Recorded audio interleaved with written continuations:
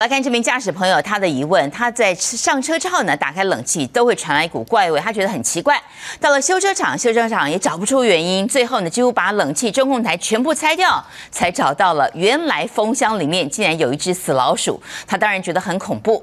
问题在于老鼠怎么爬进去的？关键在于这个冷气滤网，如果用太久破掉了，或者新车一出厂就没有装的话，那么老鼠就有可能在车主不知情的状况之下躲在里面。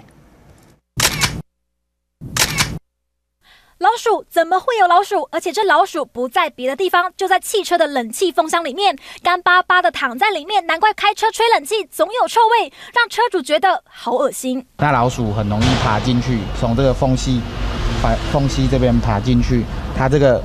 冷气空调的通道，室内外循环的通道口。事实上，汽车冷气的进风口通常都在挡风玻璃下面的塑胶板里头。一开始车主还不知道臭味从哪里来，先把引擎室拆光，之后拆掉中控台，接着连车内冷气也分解了，这才找出臭味的真凶。